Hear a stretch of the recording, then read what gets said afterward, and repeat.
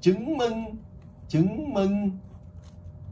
CD song song với lại B BF các bạn thấy chưa CD nè, nối CD lại giúp lại nối CD lại.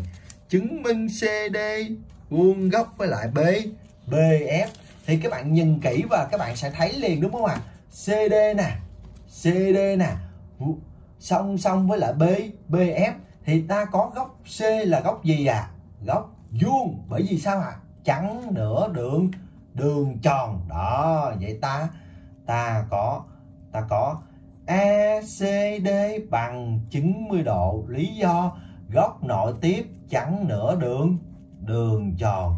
Được chưa ạ? À? từ đó suy ra CD CD vuông với lại A AC và ta có BF cũng vuông góc với lại A.